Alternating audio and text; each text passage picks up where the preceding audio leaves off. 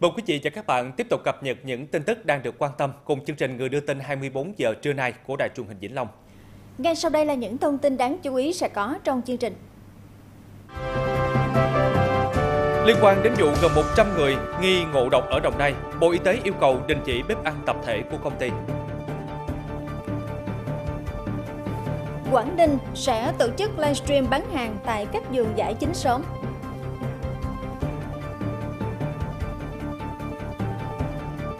Có nên chọn năm tốt để sinh con hay không là nội dung được đề cập đến trong câu chuyện cuộc sống trưa nay.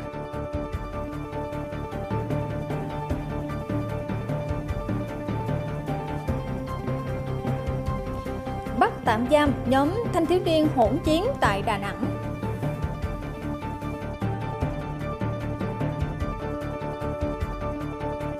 Đến thăm tháp nhạn ở Phú Yên, biểu tượng của nền văn hóa Champa rực rỡ một thời.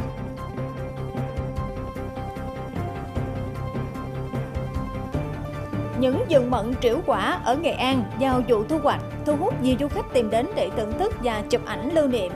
Mời quý vị bắt đầu theo dõi nội dung chương trình.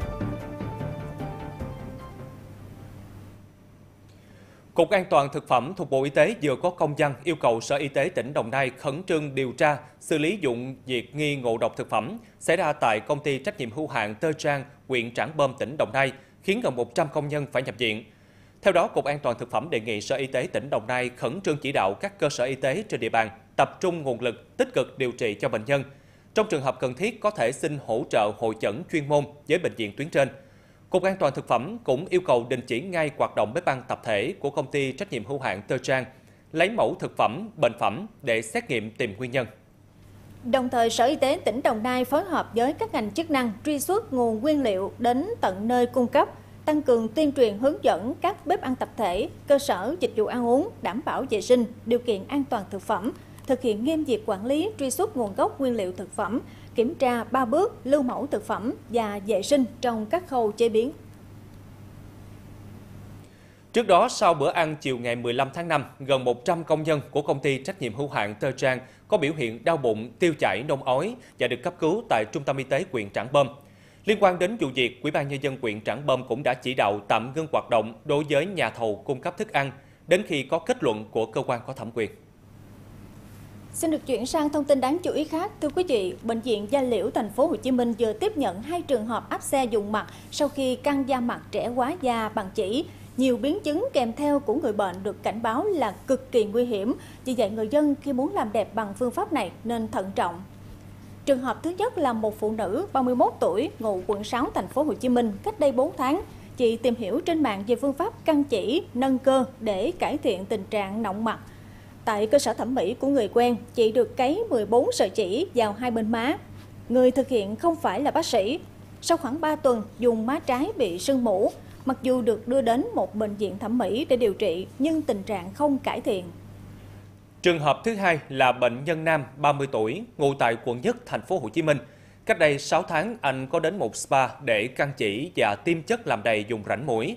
Sau khi thực hiện, dùng mặt bị đỏ da dẳng. Tại bệnh viện Gia Liễu, thành phố Hồ Chí Minh, các bệnh nhân được chỉ định phẫu thuật để xử lý ổ áp xe, lấy các sợi chỉ ra. Tuy nhiên với bệnh nhân nữ, do thời gian bệnh nhân căng chỉ đã khá lâu, sợi chỉ lại ngâm trong môi trường nhiễm khuẩn, nên khả năng khôi phục gương mặt như ban đầu rất khó. Căng chỉ nó cũng giống như vậy. Có thể căng chỉ là có thể làm chảy máu, căng chỉ có thể làm phù nề, căng chỉ có thể làm bất đối xứng hai bên, căng chỉ có thể làm nhiễm khuẩn. Về lâu về dài căng chỉ có thể làm những cái u hạt thậm chí là có thể tổn thương mạch máu tổn thương thần kinh tuyến mang tai à, đó là những cái biến chứng thuộc về căn chỉ chứ chúng ta đừng nghĩ rằng à tôi đưa sợi chỉ vô nhẹ nhàng không có biến chứng gì là không đúng dạ hoàn toàn có tất cả những biến chứng này Căng da bằng chỉ hay còn gọi là căng chỉ collagen, căng chỉ sinh học, dù được đánh giá có độ an toàn cao, nhưng cũng tiềm ẩn những rủi ro như gây chảy máu, phù nề, mất cân, mất đối xứng hai bên, nhiễm khuẩn. Về lâu dài, có thể u hạt, thậm chí có thể tổn thương mạch máu, tổn thương thần kinh tuyến mang tai, có thể gây liệt cơ mài, mí mắt, thậm chí là cơ miệng. Nguyên nhân của những biến chứng này thường do tay nghề của bác sĩ kém hoặc người thực hiện không phải là bác sĩ, không tuân thủ quy trình trong khi thực hiện.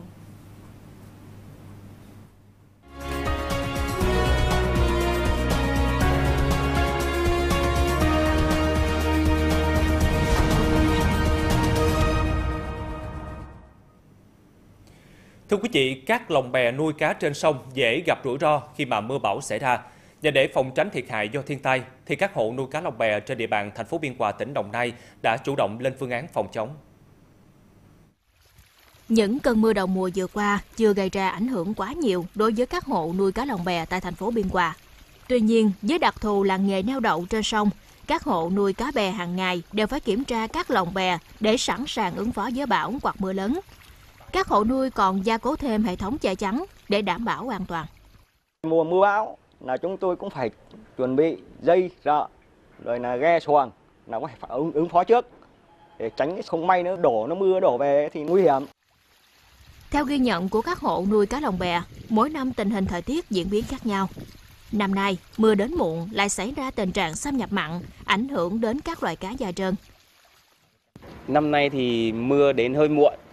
Ờ, tự dân ờ, dân ờ, dân đồng bè tụi tôi chăn nuôi thì đang gặp phải trường hợp là nước mặn tràn tới là có bị ảnh hưởng cá da trơn.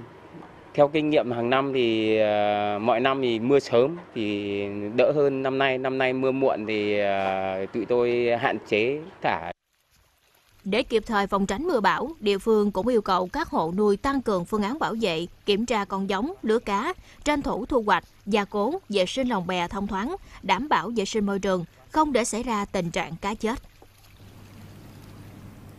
Thưa quý vị, lần đầu tiên Trung tâm xúc tiến và phát triển công thương Quảng Ninh tổ chức livestream bán hàng tại các vườn giải chính sớm Vương Nam à, từ ngày 23 đến ngày 26 tháng 5 với hai hình thức là trực tiếp và trực tuyến trên fanpage của trung tâm. Nhưng à, và bên cạnh đó thì trong quá trình phát livestream, đơn vị tổ chức sẽ phát các video quảng bá hình ảnh giải chính sớm. Dù giải chính sớm năm nay tại phường Phương Nam, thành phố Uông Bí, tỉnh Quảng Ninh có dùng giải rộng hơn 400 hecta, ước tính cho sản lượng là khoảng 1.800 tấn. Thời gian thu hoạch kéo dài từ trung tuần tháng 5 cho đến ngày 6 tháng 6, trước khi giải thiệu bắt đầu vào vụ. Từ đầu tháng 5 đến nay, rất nhiều thương lái đã đến địa phương để đặt hàng thu mua giải với giá từ 40.000 đến 60.000 đồng một ký. Tính đến hết ngày 15 tháng 5, sản lượng thương lái đặt trước đã gần 50% tổng sản lượng giải của vùng. Giải chính sớm vương Nam là một trong những giống giải có chất lượng tốt nhất, trái to, vỏ mỏng, mùi thơm, vị ngọt, chua dịu, được nhiều người ưa chuộng. Năm 2015, thành phố Uông Bí đã triển khai mô hình đưa quy trình sản xuất giải theo hướng Việt Gáp trên toàn bộ 400 hecta giải. Thưa quý vị, với tính năng bảo mật hai lớp, xác thực sinh trắc học trên app MB Bank, người dùng có thể gấp đôi an tâm khi chuyển tiền qua ứng dụng ngân hàng, đặc biệt là đối với những giao dịch lớn. Thực hiện quyết định số 2345 trên QD NHNN về triển khai giải pháp an toàn, bảo mật trong thanh toán trực tuyến và thanh toán thẻ ngân hàng. Ngân hàng Thương mại Cổ phần Quân đội MB đã nhanh chóng đón đầu công nghệ và tự hào là ngân hàng tiên phong trong triển khai xác thực chuyển khoản bằng khuôn mặt, giúp nâng cao bảo vệ, nâng cấp trải nghiệm, giao dịch thêm chắc chắn, mang đến cho khách hàng nhiều tiện ích như tránh các rủi ro lừa đảo, chiếm đoạt tài sản, thông tin cá nhân, giúp khách hàng thảnh thơi giao dịch chỉ với một chiếc điện thoại. Kích hoạt một phút trên app MB Bank, tối ưu an toàn cho mỗi lượt chuyển khoản. Chủ động lựa chọn mức tiền chuyển khoản tối thiểu, cần bật xác thực khuôn mặt theo mong muốn. Khách hàng cài đặt xác thực dễ dàng với 6 bước trên app MB Bank. Đại diện đội ngũ chuyên gia công nghệ tại MB cho biết, trong bối cảnh tình trạng lừa đảo chiếm đoạt tài khoản ngân hàng tăng cao như hiện nay, việc áp dụng tính năng bảo mật hai lớp, xác nhận sinh trắc học trước khi chuyển khoản sẽ có tác động tích cực đến trải nghiệm của người dùng, giúp tăng cường bảo mật, ngăn chặn việc truy cập trái phép và hạn chế tối đa khả năng bị lừa đảo. Ngay từ đầu tháng 4 năm 2024, MB đã triển khai xác thực khuôn mặt trên app MB Bank, đồng thời cho phép khách hàng được lựa chọn số tiền tối thiểu để sử dụng xác thực khuôn mặt.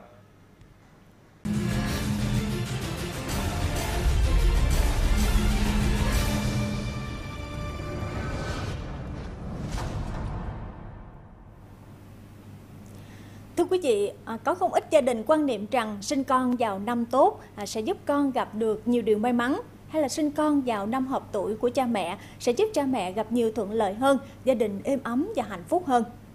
Tuy nhiên, những đứa trẻ sinh vào những năm được cho là tốt của cha mẹ liệu có mang đến sự khác biệt hay không? Và điều này có ảnh hưởng gì đến bản thân của đứa trẻ cũng như gia đình và xã hội? Mời quý vị cùng theo dõi câu chuyện cuộc sống ngay sau đây để hiểu rõ hơn về vấn đề này.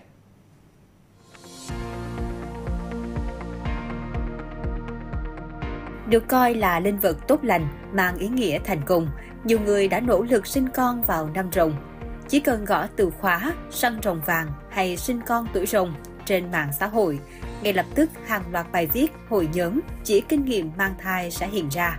Đáng chú ý, các hội nhóm đều có lượng tương tác rất cao, số lượng thành viên tham gia lên tới vài chục ngàn, thậm chí hàng trăm ngàn người. Và theo thống kê tại Việt Nam, chỉ trong 3 tháng đầu năm Giáp Thìn, cả nước đón 7.680 em bé chào đời, tăng 9,6% so với cùng kỳ năm trước. Xã hội phát triển cùng với đó là những tiến bộ khoa học, nhưng thực tế vẫn có nhiều người tin vào việc coi tử vi hay phong thủy trước khi sinh con. Chọn năm tốt để sinh với mục đích an tâm hơn về tương lai và số mệnh của con mình những kiến thức về về về y khoa đều cho thấy là sinh thường sẽ có nhiều lợi nhiều ích lợi cho đứa trẻ hơn. Nhưng mà nhiều cha mẹ đã bất chấp cái nguy hiểm mà các bác sĩ đã cảnh báo các chuyên gia y khoa đã cảnh báo mà nhất định là phải sinh con uh, theo cái cách là không tự nhiên đó. Thực tế việc chọn tuổi sinh con hoàn toàn không có cơ sở khoa học và việc can thiệp để sinh con theo ngày giờ là trái với mong muốn mẹ tròn con vuông. Đây là việc các bác sĩ khuyến cáo không được làm vì rất nguy hiểm, nhất là khi thai chưa đủ ngày, đủ tháng, rất dễ gây nguy hiểm cho sản phụ và thai nhi. Chưa kể là với sản phụ sinh con quá muộn vì đợi con hợp tuổi thì nguy cơ đầu tiên là khó đầu thai, sảy thai, thậm chí vô sinh và nhiều biến chứng nguy hiểm khác. Đặc biệt trẻ sơ sinh nhóm này còn có thể có nguy cơ mắc dị tật cao hơn những trẻ khác. Có một điều dễ nhận thấy là những đứa trẻ được chọn năm để sinh ra thường sẽ được chăm sóc và đầu tư nhiều hơn vì cha mẹ có sự kỳ vọng lớn. Họ chuẩn bị kế hoạch sinh con, tài chính, kiến thức chăm sóc con tốt hơn và chuẩn bị đầy đủ các yếu tố về tâm lý để sẵn sàng nuôi trẻ trong những điều kiện tốt nhất. Tuy nhiên, khi quá nhiều đứa trẻ được sinh ra trong một năm cũng khiến nhu cầu nhà trẻ, mẫu giáo tăng lên, gây khó khăn, áp lực cho hệ thống giáo dục. Việc thi vào các trường, nhất là bậc đại học, cũng sẽ áp lực hơn. Gánh nặng về việc làm khi sinh viên ra trường hay thanh thiếu niên đến tuổi lao động cũng sẽ là một bài toán nan giải. Mình nghĩ tương lai một đứa trẻ sinh ra có tốt hay không phụ thuộc vào cách dạy dỗ của cha mẹ và thầy cô từ nhỏ. Mình quan sát thì một đứa trẻ sinh ra năm tốt thì cũng chưa chắc đã tốt. Mình nghĩ là có tốt hay không thì phụ thuộc nhiều vào sự phấn đấu của trẻ. Năm đẹp không phải là yếu tố quyết định sự thành công của mỗi đứa trẻ. Nếu chúng ta chỉ căn cứ vào năm đẹp để sinh con, thậm chí chúng ta đang gây bất lợi cho con rất nhiều. Vì năm đó trẻ sinh ra đông, à, số lượng à, vượt trội thì cái à, áp lực lên hệ thống y tế những năm mà người dân thích sinh nhiều đất thì thường là quá tải, tất cả các bệnh viện đều quá tải. Việc chọn năm sinh con là không xấu, nó xuất phát từ mong muốn con cái sẽ có tương lai tốt đẹp. Tuy nhiên thực tế đã chứng minh, số phận của một đứa trẻ được quyết định bởi những yếu tố cốt lõi như cách giáo dục, môi trường lớn lên, cách chăm sóc và định hướng từ gia đình, nhà trường. Vậy nên, sinh ra và nuôi con khoa học, tạo cho con môi trường sống văn minh mới là cách tốt nhất để tạo nên một đứa trẻ tốt. Chính cách nuôi dưỡng, giáo dục và định hướng cho con cái của cha mẹ sẽ tạo ra những đứa trẻ khỏe mạnh, thông minh, tương lai sẽ là công dân có ích cho đất nước.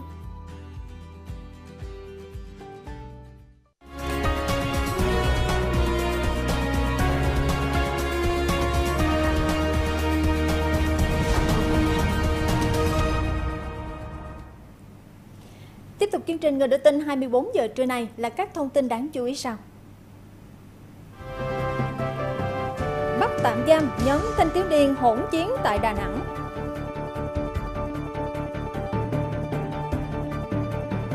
Đến thăm tháp nhạn ở Phú Yên, biểu tượng của nền văn hóa Chăm Ba rực rỡ một thời.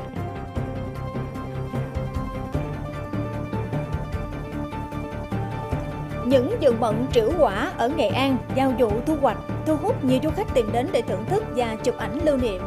Mời quý vị tiếp tục theo dõi nội dung chương trình. Công an quận Hải Châu, thành phố Đà Nẵng vừa tống đạt quyết định khởi tố vụ án, khởi tố bị can, bắt tạm giam nhóm thanh thiếu niên sử dụng hung khí đuổi đánh nhau trong đêm, gây náo loạn các tuyến đường trên địa bàn thành phố. Trước đó do mâu thuẫn, một nhóm thanh thiếu niên dùng hung khí đuổi đánh một nhóm khác. Các nhóm thanh thiếu niên này che biển số xe máy, rượt đuổi nhau với tốc độ cao, gây náo loạn các tuyến phố, đánh nhau gây thương tích nghiêm trọng, khiến cho người đi đường hoảng sợ.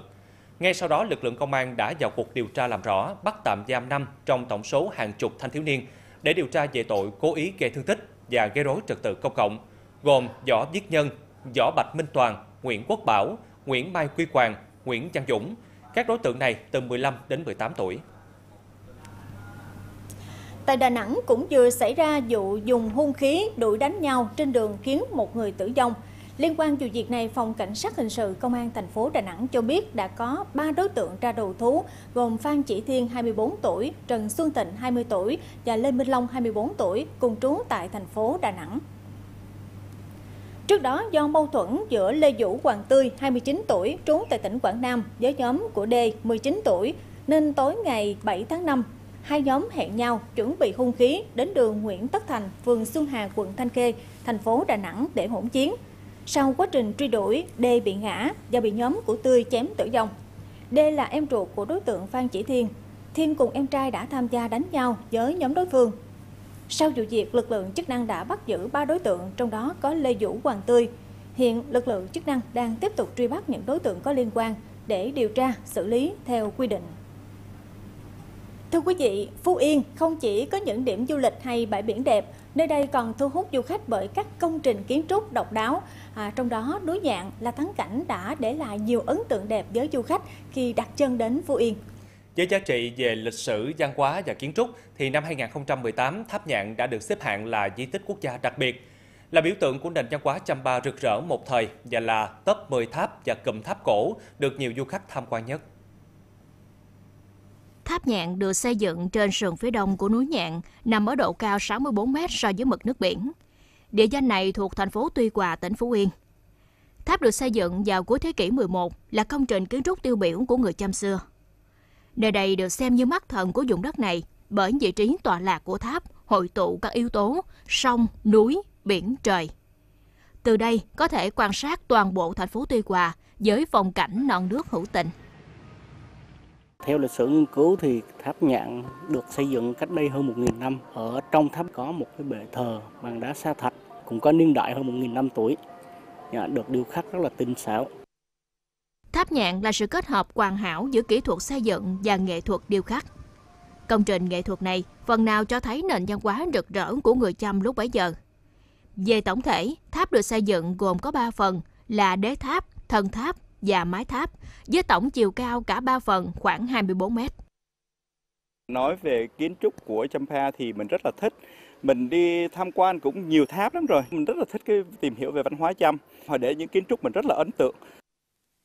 Tháp nhạn là một trong số rất ít tháp chăm còn hoạt động tín ngưỡng thờ thần Bonaga, hay còn gọi là Thiên Iyana. Tượng thờ bà Thiên Iyana được đặt trên bệ thờ bằng đá sa thạch hiếm có bên trong lòng tháp. Trong truyền thuyết, Thánh mẫu Thiên Iyana là một vị thần cai quản vùng đồng bằng, sông núi ở khu vực này, giúp người dân có được mùa màng bội thu. Để tưởng nhớ ân đức của bà, người Chăm đã xây dựng ngọn tháp làm nơi thờ phụng. Đến đây thích đến cái không khí ở trên này. Mỗi lần đến đây thấy ờ, vừa được ờ, đi lễ mà vừa được ờ, thư giãn nữa. Lễ hội Vía Ba, đây là một lễ hội truyền thống à, của Ờ, thắp tháp nhạn và trong thời gian này sẽ có rất nhiều đoàn người ờ, đồng bào Chăm từ khắp nơi trên cả nước họ sẽ về đây sinh hoạt văn hóa tín ngưỡng của họ. Núi Nhạn được coi là biểu tượng của Phú Yên. Tháp Nhạn là công trình kiến trúc nghệ thuật cấp quốc gia khiến người dân nơi đây rất tự hào. Hàng năm vào mùa xuân, tại sân Tháp Nhạn lại rộn ràng với lễ hội thơm nguyên tiêu vào rằm tháng Giêng, rồi lễ hội Giếng Bà thu hút đông đảo người dân và du khách tham gia. Còn giới khí hậu mát mẻ, xã Mường Lóng, huyện Kỳ Sơn, tỉnh Nghệ An phù hợp trồng các loại cây như là mận, đào, mơ, à, trong đó diện tích trồng mận ở địa phương là nhiều nhất. Và những ngày này thì xã Mường Lóng đang vào mùa thu hoạch mận tam qua. Những vườn mận triệu quả thu hút sự quan tâm của khách du lịch và thương lái. Hiện diện tích mận của xã Mường Lóng là 23 hecta. Từ đầu tháng 5 thì mận bắt đầu chín, bà con thu hái bán cho thương lái. Mận đầu vụ có giá gần 30.000 đồng một ký, cao hơn năm trước. Lãnh đạo Ủy ban nhân dân xã Mường Lống cho biết năng suất mận năm nay có thể đạt 30 tấn một hecta. Nhờ khí hậu mát mẻ quanh năm nên mận được trồng ở Mường Lống có trái đẹp và chất lượng tốt, được khách hàng ưa chuộng. Dịp này, nhiều khách du lịch tìm đến những vườn mận ở xã Mường Lống để thưởng thức và chụp ảnh lưu niệm. Ngày 19 tháng 5 tới, huyện Kỳ Sơn sẽ tổ chức Ngày hội hái mận tại xã Mường Lống nhằm giới thiệu quảng bá sản phẩm mận Kỳ Sơn đến với du khách gần xa. Và đến đây chúng tôi xin được kết thúc chương trình Người đưa tin 24 giờ trưa nay của Đài truyền hình Vĩnh Long. Cảm ơn quý chị và các bạn đã đồng hành cùng chương trình. Để xem lại chương trình này, quý chị và các bạn có thể truy cập vào trang web www.thvli.vn hoặc tại ứng dụng THVLI trên Google Play và App Store. Kính chào tạm biệt và hẹn gặp lại.